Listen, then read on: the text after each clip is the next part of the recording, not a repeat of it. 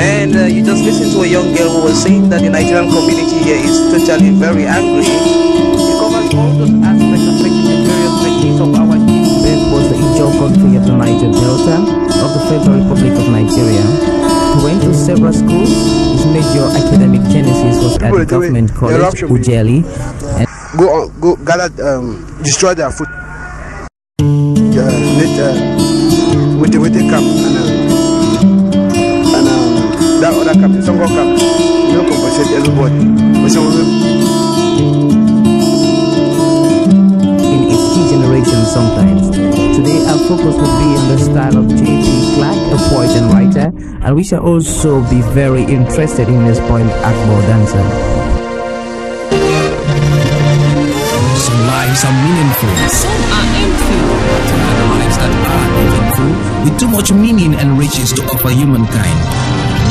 Long after some of these earthly adventures are no more, one can still find footprints of these great lives on the pavements of our contemporary lives. Good evening, you're welcome to the program Green Planet.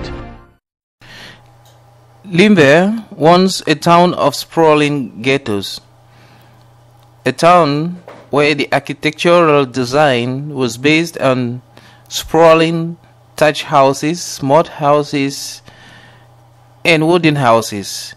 And now Limbe has witnessed a transformation and the beginning of high rise buildings and other modern infrastructural designs. All this could not have happened without the contributions of certain people. In today's people, places, and events, we shall be talking to one such contributor in the design of the town. He may not be known, but he is definitely important to this design. Thank you very much for talking to people, places, and events, and to the African Center for Community and Development. What is your name, sir? My name's uh, Ojong Peter Agbor. And what do you do in life? I'm a civil architecture technician. This means you've been doing a lot of designing. For how long have you been this kind of person? I've been for 25 years. And your work has taken you to designing houses and offices and so on. Can you list some of the houses you have designed? Yes, there have been many, but I can only name few. Like in Limbe, Mines and Power um, Structure, Cité Nanga, and Cité Sonara, and some of the individual projects which I've done in town, to name a few. Now, you're into architecturing and um, civil engineering. Let me ask you something in terms of uh, the transition that we are facing in Limbe as to the designing of houses.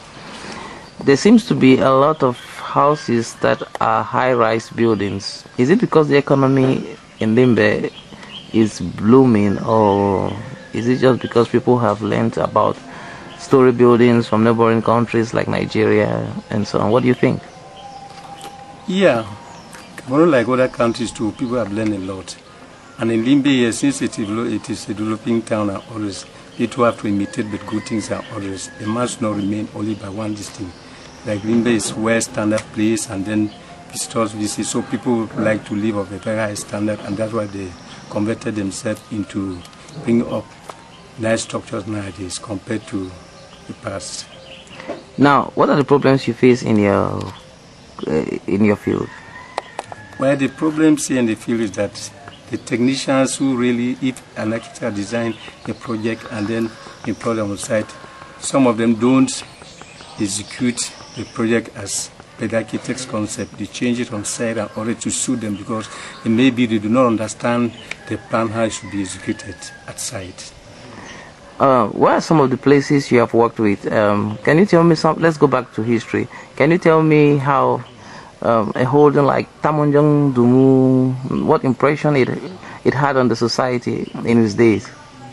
Well, Tamonjong Dumu was a civil, I mean, he was a, an, uh,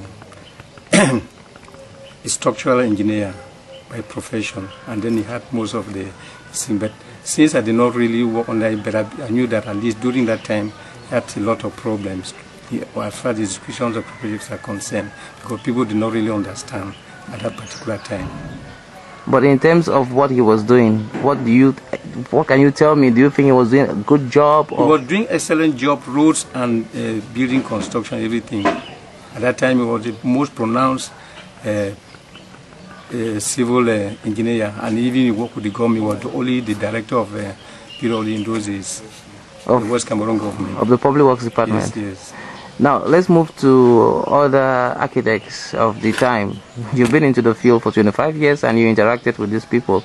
Um, Mr. Manga and um, Namatai Wanga, they were also very important in the design of um, the Cité Nanga.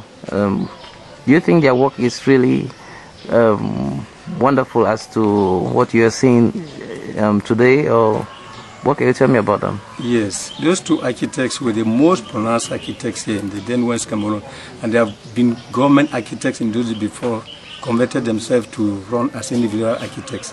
And executions like the Sonara, uh, uh, the Sonara project in those days, the housing estate and others, which is the Sonara, I mean Cité Nanga and Cité Sonara, they executed the project, the designs, concept, and then the, the drawing concept, everything. And then finally, they brought everything to the face of every person, and every person appreciate their good job. Do you think their work is still relevant today? Excellent. Wow. Most of the architects are really comparing, I mean, copying what they've done. what about um, uh, Nanga? Langa was uh, he, he was a, a, building contractor. He was not an architect by profession. But his execution at that time was, too, was nice as a contractor. Now, I realize that a lot of people are moving from uh, the building of um, wooden houses to um, the building of um, block houses. Is it um, an economic issue, or people no longer have confidence um, in wooden houses, or a wooden houses for poor people?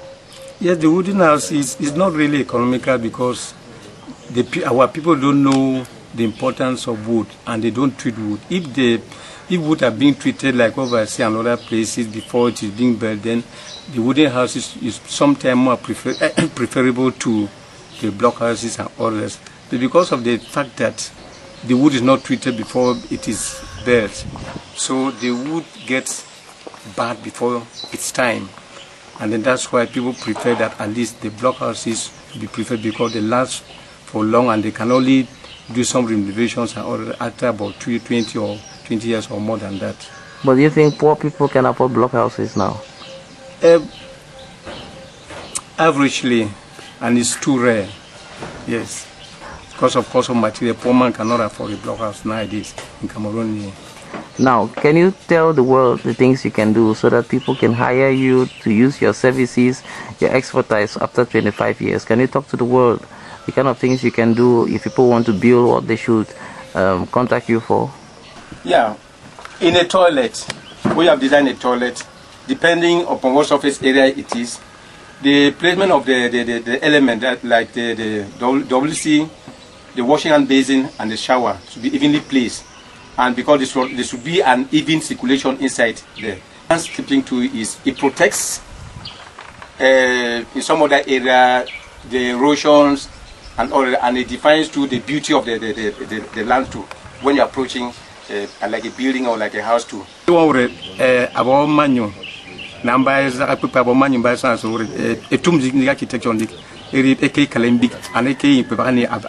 Akim mga jimi nya ke jimi kan sin yiri nana. And I hope through the venue of this program, your voice shall reach out to millions in the World Wide Web that are going to be watching you. Thank you very much. That other captain, Songo captain, you know, compensate everybody. But some of them, in its degeneration sometimes. Today our focus will be in the style of J.P. Clark, a poet and writer, and we shall also be very interested in his poem Agbor Dancer.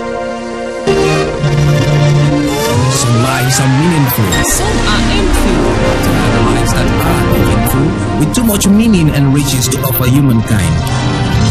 Long after some of these earthly adventures and more, one can still find footprints of these great lives on the pavements of our contemporary lives. Good evening, you're welcome to the program Green Planet.